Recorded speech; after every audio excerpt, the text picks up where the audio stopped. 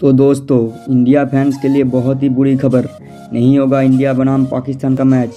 क्या है पूरी जानकारी? देखने के लिए वीडियो को पूरा देखो। दरअसल टी ट्वेंटी वर्ल्ड कप का आगाज़ हो चुका है। इसमें फैंस का सबसे ज़्यादा इंतज़ार है इंडिया बनाम पाकिस्तान का मैच देखना। बट गाइस यहाँ बताया जा रहा है कि इंडिया बनाम पाकिस्तान के जो मैच होगा तेईस अक्टूबर को उसमें रेन के चांसेस है एट्टी परसेंट तक। अगर रेन हुआ, इसके लिए कोई रिज़र्व डेट भी नहीं रखा गया है। इसका मतलब दोनों को एक करके अंक मिल जाएगा। बट अगर रेन होते होते रुक गया तो पाँच पाँच ओवर की खेल हो भी सकता है।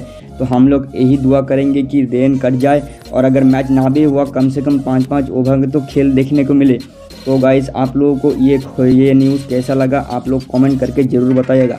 और अगर इंडिया बनाम पाकिस्तान के मैच हुआ तो इंडिया को जीतने के लिए सभी दुआ ही करिएगा, क्योंकि हम लोग इंडिया फैंस हैं और हम लोग चाहते हैं पिछली बार पाकिस्तान ने इंडिया को हराया था, उसका बदला लेने का।